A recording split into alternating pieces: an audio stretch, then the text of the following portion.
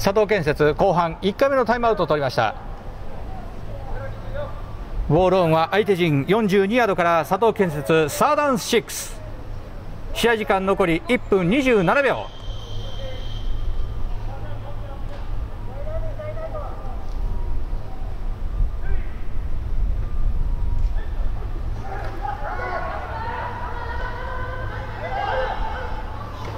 パス成功ファース！クォーターバック15番ワイドレシーバー1番にパスを通しファーストダウン獲得です。